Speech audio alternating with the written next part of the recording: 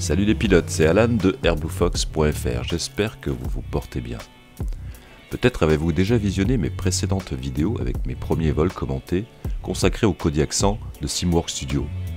Après plus de 50 heures de vol sur cet appareil, il était maintenant nécessaire de mettre à jour le contenu. Cette vidéo est donc le premier volet d'une série de tutoriels qui sera consacré au Kodiak 100.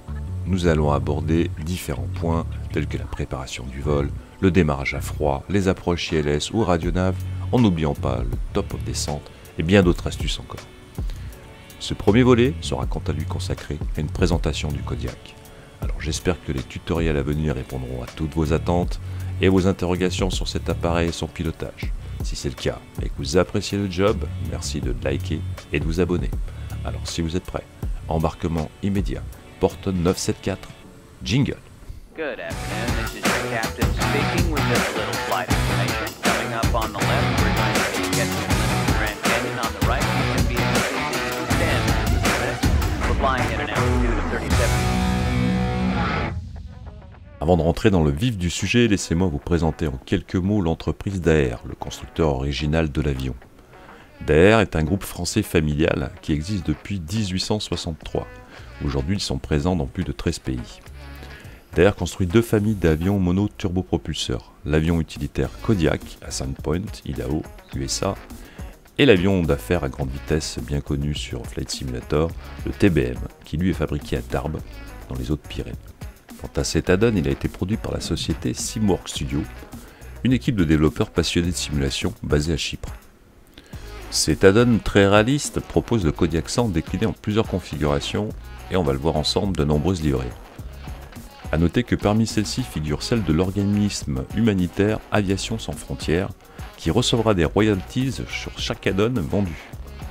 En effet, la vente de chaque application permettra de récolter des fonds pour Aviation sans frontières, qui permettra ainsi l'acquisition d'un nouvel avion. Sans plus attendre, nous voici dans l'interface de notre simulateur préféré, avec 4 DAR possibles déjà en choix d'avion. Remarquez que les premiers qui apparaissent par défaut, ce sont les DAR Kodiak de l'association Aviation sans frontières. Pour chacun de ces différents modèles d'avion, vous aurez à chaque fois une bonne quarantaine de livrets. En tout premier lieu, vous avez la version donc sans le, pod, sans le cargo, la version classique et la version avec le cargo pod qui vous permet de transporter plus de fret. Ça peut être intéressant si par exemple vous faites des vols pour une compagnie aérienne puisque vous allez pouvoir transporter plus de bagages et que bien entendu les bagages ont un coût. Allons maintenant jeter un coup d'œil aux différentes livrées qui sont disponibles. Le modèle qui est proposé par défaut, comme je le disais, c'était Aviation sans frontières. Et puis après, on va voir, il y a différents types d'intérieurs possibles selon le modèle que vous choisissez. Plus exactement, il y en a quatre différents. Il y a le modèle Skydive, qui vous permet de larguer des parachutistes grâce à sa soute arrière qui s'ouvre. On trouvera sur le tableau de bord un petit interrupteur qui permet d'actionner le levier. Il faut quand même savoir qu'au niveau du simulateur, il va falloir aller dans les options d'assistance et vérifier que vous n'êtes pas dans défaillance et dommages en mode activé. Ce qui est le cas pour ma part puisque je n'utilise pas ce modèle de Kodiak. Le look de l'appareil est plutôt sympa et l'intérieur également. On y retrouve des sièges un petit peu basiques pour que les parachutistes puissent au moins s'asseoir le temps de la montée. Outre les différentes couleurs proposées, le deuxième modèle est le modèle Tundra intérieur. Le modèle Tundra intérieur vous permet d'embarquer jusqu'à 8 passagers. Nous avons également la version Summit intérieur. La version Summit intérieur est une version de transport de passagers VIP. Cette version se distingue par une cabine aménagée pour recevoir 8 passagers en configuration club, une climatisation bizone et une réserve d'oxygène accrue permettant le vol en altitude. Je n'avais pas encore précisé, mais cet appareil, vous pouvez le constater ici, peut monter jusqu'à 25 000 pieds. Et on peut dire que grâce à son mono-turbopropulseur, il grimpe vraiment très facilement. Malheureusement, cette configuration ne permet pas d'afficher les avatars des passagers dans la cabine. Et j'ai envie de dire c'est bien dommage. Passons au quatrième modèle d'intérieur qui est la version cargo. La version cargo vous permet de transporter uniquement du fret. Il n'y aura aucun siège à l'intérieur et vous pourrez rajouter facilement à l'intérieur une représentation du fret avec des cartons virtuels. Si vous en avez marre d'avoir des passagers qui râlent, cette option est faite pour vous. Enfin pour terminer, on a la version mixed intérieur qui combine à la fois des passagers, auront 4 passagers et plus, mais en tout cas c'est 4 qui s'affichent. Et à l'arrière, un espace agrandi pour le fret.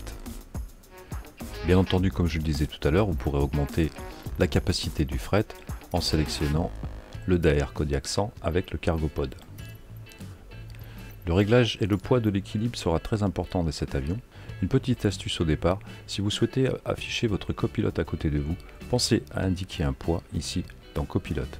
À partir du moment où vous allez indiquer un poids, le copilote s'affichera dans la cabine, quasiment quel que soit l'avion. Pour le reste, j'en parle dans l'épisode 4, comment décoller proprement avec mon Kodiak 100. Je vous invite donc à regarder cet épisode pour en savoir plus sur le poids et l'équilibre de l'appareil.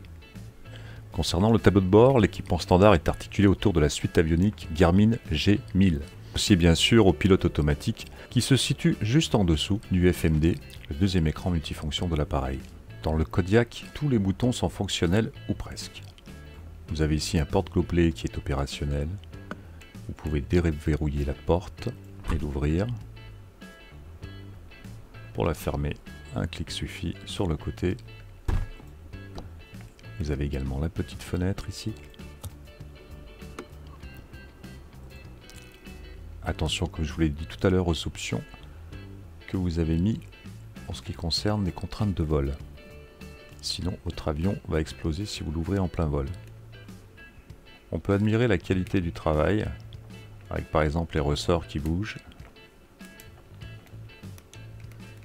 Et comme je vous le disais, tous les boutons qui sont fonctionnels sauf celui-ci. Je ne sais pas pourquoi, c'est un peu dommage, c'est le seul qui ne fonctionne pas. On peut également voir que les bus d'air, on peut les tourner. On peut voir beaucoup de détails ont été apportés et on peut souligner vraiment la qualité du travail, que ce soit en termes de graphisme et en termes de fonctionnalité. Sur le volant principal du pilote, on pourra retrouver ici le trim. Que vous pouvez également régler bien sûr à la main. Commençons par nous intéresser par le bloc central. Celui-ci est équipé de deux compteurs, étiquetés Flight Time et Block Time, au milieu de la partie inférieure du tableau de bord. Le compteur Block Time enregistre les heures d'utilisation du moteur, le compteur FlyTime enregistre quant à lui les heures de vol sur cet appareil. L'émetteur de localisation d'urgence est quant à lui situé à l'arrière de la cloison de la cabine. Il est commandé par cet interrupteur rouge, fonctionnel mais sans effet a priori. Le panneau euh, oxygène comprend une alimentation en oxygène simulée avec un taux d'épuisement variable en fonction en fait, du nombre de passagers que vous avez à bord lorsqu'on indique euh, qu'il y a des passagers à bord en, rajoutant du poids, le système va considérer qu'un passager est présent euh, dans, l'avion. Donc la quantité d'oxygène est indiquée par le voyant à gauche du commutateur, ici. Et le voyant euh, ici indiqué REQ, lui va s'allumer si la pression d'oxygène est de 400 PSI ou moins, indiquant donc qu'il y a un apport en fait faible en, oxygène. Et enfin, si le système d'oxygène n'est plus alimenté à ce moment-là, on aura euh, le petit voyant ici, euh, faute, qui va euh, s'allumer. Ce qu'il faut savoir, c'est quand, quand on fait un vol, selon donc, le nombre de passagers qu'on a à l'intérieur, ce, volume d'oxygène va au fur et à mesure descendre jusqu'à arriver à épuisement. Ensuite ici nous avons le commutateur de, trim de l'aileron. C'est un bouton qui est limité à un maximum de 1 seconde d'appui en continu. Donc si vous appuyez longtemps en fait ça sera à chaque fois en fait un seul cran. Hein. Alors pour voir au niveau du tableau de bord, on a ici notre petit voyant aileron qui nous indique en fait où se trouve actuellement notre trim d'aileron. On verra dans un autre tutoriel qui est comment bien décoller avec le Kodiak que c'est quelque chose d'important à vérifier avant chaque décollage, atterrissage et pendant le vol. A droite du trim d'aileron, nous avons la vanne d'arrêt de carburant par feu. Ensuite, plus bas, vous avez donc ici le levier d'alimentation de secours euh, qui est euh, ici inopérant euh, dans cet appareil. Puis bien entendu, bah, ça je pense que vous connaissez. Hein. Le Kodiak a ici un système de butée qui empêche par inadvertance d'aller au-delà d'une certaine position pour la richesse et le levier qui permet de contrôler les hélices. Rien de particulier à présenter ici. Les volets sont sur la droite. Vous avez un angle de 10, 20 ou 35. Et pour décoller, ce sera 20 degrés, indiqué ici. Pour finir sur la droite, le Kodiak est équipé d'un système de, de transfert de chaleur simulé entre les zones du chargement de température. Par exemple, si les portes sont ouvertes, euh, où les fenêtres sont ouvertes, on a des fuites de chaleur entre l'environnement et entre l'environnement extérieur et, l'avion. Du coup, la, bon, la cabine de l'avion est divisée en deux zones, hein, le, pilote et passager. Il y a, les passagers ont également leur propre bus de, climatisation. Et tout ça est en fait euh, parfaitement simulé. Si par exemple, euh, là il fait 23 degrés actuellement à la fois dedans et dehors,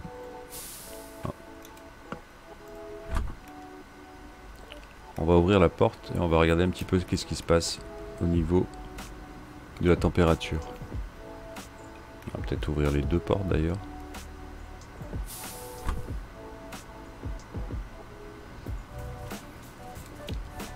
On voit que effectivement la température baisse.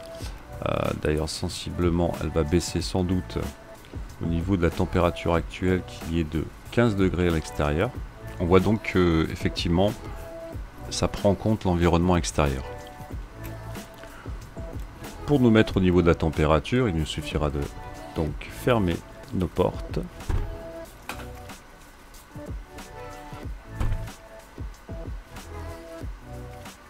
Et de lancer notre climatisation en mode automatique. On va voir que ça va bientôt se réguler. Alors il y a un petit bouton ici à droite qui permet d'activer la climatisation individuelle pour chaque passager. À ce moment-là, chaque passager peut régler sa propre température. Ici c'est l'activation de l'air conditionné. Et euh, le windshield, c'est-à-dire ici, comme sur les voitures, euh, le dégirage du pare-brise, mais euh, ce n'est pas simulé dans l'avion.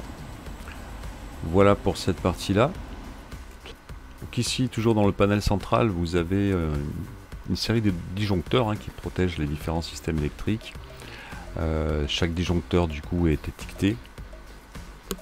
Lorsqu'un disjoncteur est tiré euh, vers le haut, ça veut dire qu'il est coupé tout simplement. il y a quelques-uns quand même qui ne sont pas fonctionnels, mais la plupart le sont. Juste au-dessus du disjoncteur, nous allons trouver ensuite le commutateur de la compensation de direction, rudder trim, qui permet donc le réglage de la compensation de la direction de l'avion. Pour savoir où c'est qu'il est placé actuellement. Voilà, il est centré ici. Et si on déplace donc par exemple vers la gauche de plusieurs crans, notre petit indicateur va également se déplacer sur la gauche complètement sur la gauche, outre les, boutons de, test, ici le test de décrochage, nous avons ici un, instrument de veille, c'est le ES I500 équipé en série sur le Kodiak. C'est un instrument en fait 3 en 1 qui offre des capacités de navigation complète au cas, euh, en cas de panne totale en fait du système G1000 euh, à côté. Il est lié à la radio navigation 2 et au circuit GPS. Donc il est entièrement capable en fait de la faire de la navigation VOR et GPS. Il y a un menu accessible ici avec pas mal de, petits réglages euh, que je vous laisserai euh, découvrir. Et puis surtout on en reparlera sans doute dans un autre volet. Au niveau de notre écran principal, le PFD, nous allons avoir ici euh, quelques annonces qui sont d'ailleurs présentes dans le vrai avion et qui sont euh, disponibles dans un tableau sur le fichier PDF qui est fourni euh, avec l'avion quand, vous l'achetez. Vous avez un, petit manuel en anglais et pour chaque, euh, pour chaque alerte, ça vous indique à quoi ça correspond. Au centre, donc, on va retrouver l'écran principal de navigation avec quelques indicateurs de plus par rapport aux appareils de base qui sont dans, le, dans le simulateur. Et enfin, bien entendu, à droite, l'écran du copilote. Et puis, euh, et puis bon, bah voilà, tout ce qui est, euh, tout ce qui est communication. Tout est fonctionnel à l'intérieur, même les petits, euh, Ici, les petites bouches d'aération sont également fonctionnelles.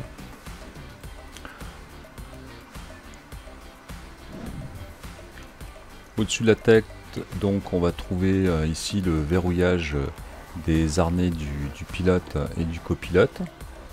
Le sélecteur de réservoir du carburant euh, gauche et droit. Euh, quoi d'autre Euh, Les lampes de lecture ici pour, pour le pilote. Qu'on peut d'ailleurs tourner alors de haut en bas.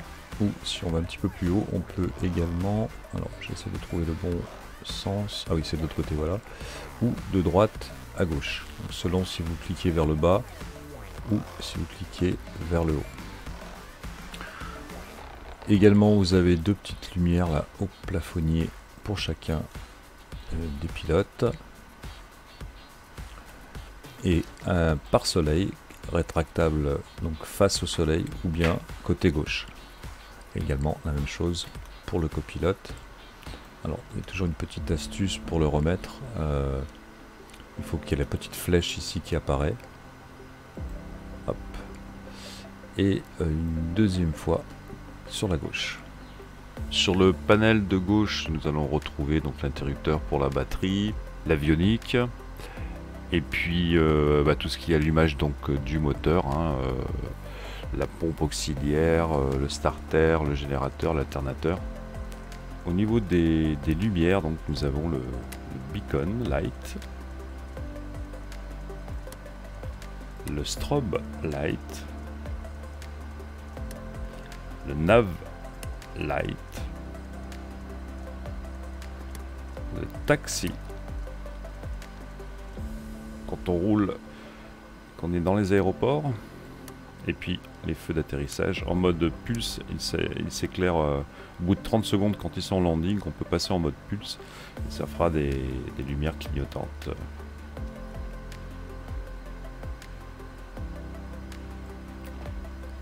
Et puis euh, l'allumage de la- cabine. D'ailleurs, si vous êtes euh, de nuit, j'ai donc on va dire qu'on est la nuit, donc on n'y voit rien. Alors, je vais couper la batterie. Je- On va se remettre de nuit. Donc, ce que je vous conseille de faire, si vous êtes en vol de nuit, avant de commencer, avant d'allumer euh, la batterie, parce que si vous allumez la batterie tout de suite, là, hop, euh, bah, on voit pas grand chose. Bon, là, on voit un petit peu, mais euh, des fois, c'est pas toujours le cas. Donc avant d'allumer la batterie, bah, pensez simplement à mettre la cabine sur on et puis vous pouvez déjà commencer à tourner un petit peu ici les, switches pour l'intensité lumineuse. Et là au moins quand vous l'allumez, voilà, vous en avez à l'intérieur quand même déjà une lumière. Alors les switches, l'intensité pas de ouf, hein, mais bon, on voit quand même que ça change un petit peu là au niveau des écrans du haut. Euh, intérieurement, donc en position haute, on a l'intérieur qui est complètement éclairé. On va mettre les petites lumières là. Et en position euh, centrale, donc pour le décollage ou l'atterrissage. Alors là, c'est un petit peu sombre quand même, même si on a les, deux petites lampes. Alors on en a quand même la, petite troisième que je vous ai montré tout à l'heure, qui éclaire donc euh, différentes parties euh, du cockpit selon, selon les besoins. Alors par contre ici c'est complètement sombre. Voilà pour les lumières. En dessous vous avez le... Je vais tout couper quand même. Hop. Euh, le système de protection anti-ice. Donc euh, le système euh, bypass. Ça permet d'évacuer la glace qui, est dans la bouche d'admission. Et puis tout corps étranger. Les pitot. Donc les pitot que sur l'appareil. On les retrouve ici en bout d'aile. Les interrupteurs permettent de réchauffer les, les sons de pitot. Y a une résistance à une résistance à l'intérieur qui du coup va, faire fondre euh, euh, la glace qui pourrait, euh, qui congestionner le, tube. Euh, et puis après, voilà, tout le, reste du système anti-ice. Bon, ça me demandait pas le détail là, pour le coup, je n'ai pas vraiment étudié, mais bon, c'est un petit peu classique, hein, comme sur les autres appareils. Et puis je crois qu'on a fait le tour. Ah, le petit bouton LVL aussi, qui est censé mettre en tout à plat en fait au niveau des, ailes, etc. Alors, je l'ai testé une fois ou deux, j'ai pas l'impression qu'il est fonctionnel.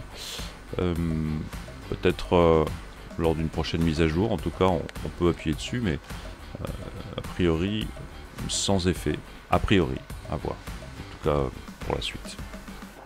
Et enfin, il y a un petit bouton qu'on n'a pas vu, c'est que j'ai oublié de vous parler tout à l'heure. Je vous ai parlé tout à l'heure ici du, trim, mais on peut ici, avec le petit bouton rouge, désactiver le pilotage auto. Et le bouton bleu, lui, n'est pas opérationnel. Voilà pour ce petit tour du tableau de bord du Kodiak 100. Quel que soit le modèle de cabine que vous choisirez, vous aurez pour euh, vos passagers ici euh, une petite euh, lumière ainsi que donc le réglage de la climatisation.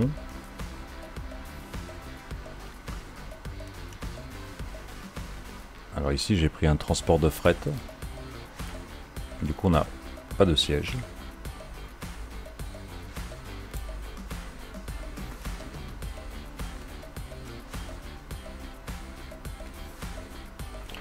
L'ouverture de la soute arrière est assez simple. On déverrouille le petit loquet du haut, puis celui du bas, la porte du haut et la porte du bas. N'essayez pas de fermer d'abord la porte du haut car vous ne pourrez pas fermer la porte du bas. commencez bien par celle d'en bas, ce qui semble plutôt logique puisqu'en fait elle vient se mettre par-dessus. Hop. Et bien entendu, oups, n'oubliez pas de les verrouiller. Côté extérieur, vous avez déjà pu le voir dans, plusieurs de mes vidéos. Les détails sont vraiment splendides. Enfin, une dernière petite chose que je tenais à vous montrer, c'est la possibilité donc de charger des avatars de passagers dans l'appareil en utilisant simplement le poids des passagers à bord. Alors, si j'avais voulu rajouter un copilote, comme je l'expliquais tout à l'heure, il aurait fallu que je le fasse avant le chargement de l'appareil. En revanche, on va pouvoir charger à partir de 60 kg, je crois que ça fonctionne. On va pouvoir charger donc des passagers sur chacun de nos sièges. Hop, 60 kg là. Et ainsi de suite.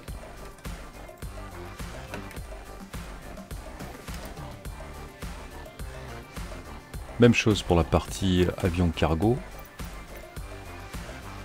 On va sélectionner cette fois-ci non, non plus des passagers mais du fret. On peut partir de, la fin pour voir un petit peu qu'est-ce qui se passe. Ici pour l'instant rien. Voilà. Et on va pouvoir charger comme ça notre avion avec du fret jusqu'à atteindre, voyez là, j'ai atteint la limite du centre de gravité.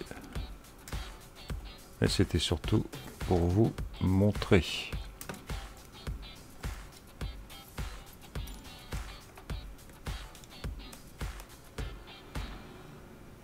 Pour conclure cette vidéo, je vous propose quelques images du Kodiak 100 au départ et à l'arrivée de l'aéroport de l'Alpe d'Huez.